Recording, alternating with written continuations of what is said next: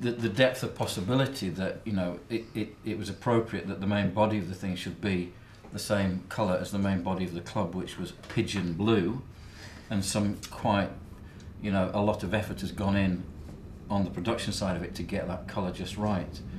Um, there was talk about this material, which is a, a reflective 3M material that in certain lights does things. Which, so it goes, it goes, like you can go yeah, into it. Yeah. yeah, yeah. Yes, exactly. And it has kind of depth to it, and that wasn't a problem. Inevitably, there were going to be black and yellow stripes because black and yellow stripes were the kind of.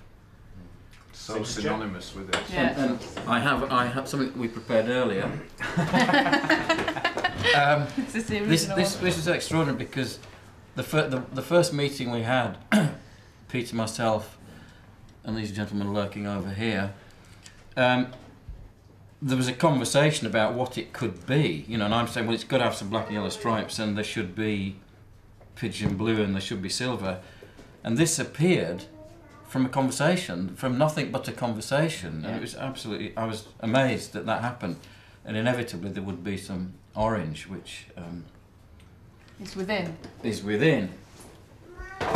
And um, and then I really wanted to have, you know, the, the, the, the graphic which was on the granite plaque at the entrance to the club that originally had silver leaf set in it in red enamel and the cedilla on the C Yeah.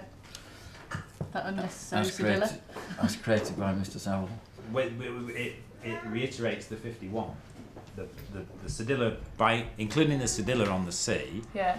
And then the like- letter I, Yeah, of course. It goes. it makes a 51 I. within, within within. that CI. Bloody well, there's 51. something I've learned. I Do you know, not I know didn't that? No, I didn't know that So either. 51, that's why we did the cedilla. And then Okay. you know, probing deeper with, I knew nothing about production of trainers or shoes in general, that, you know, um, we could have different coloured eyelets. So you've got two black ones there and three yellow ones. That laces could be um, Strike. striped or whatever. And this, this, this is um, the membership card was was silver and yellow stripes. So that's what is on the. And also on some of the things like the um, on the gay traitor cocktail Yeah, would be at the yeah, bottom of that. yeah, that was yeah, intended. yeah.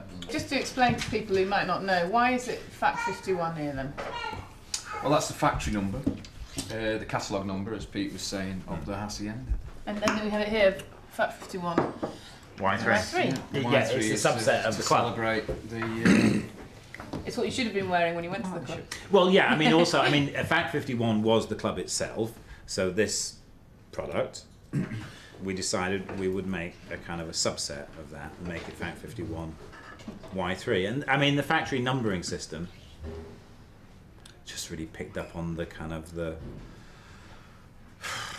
the industrial culture which the name factory suggests in the first place This and is you know product. and it's a product number Next it's to again is a, product. is a, is a catalogue the, number the numbers became quite. yeah, Tony, Tony in particular was quite obsessive about the numbering system. And do you think that anyone will actually wear these, or will they just be prized possessions?